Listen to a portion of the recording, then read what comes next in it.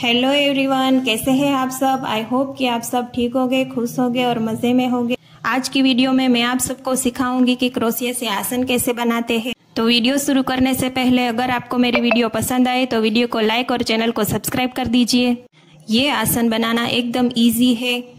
तो अगर आपको भी ये बनाना सीखना है तो मेरे साथ साथ आप भी ये कर सकते तो सबसे पहले सिक्स चेन बनाइए। सिक्स चेन का राउंड बनाना है। तो इसके बाद आप सब मेरे साथ साथ देख के भी ये सीख सकते हैं। ये बनाना एकदम इजी है। तो चले स्टार्ट करते हैं बनाना।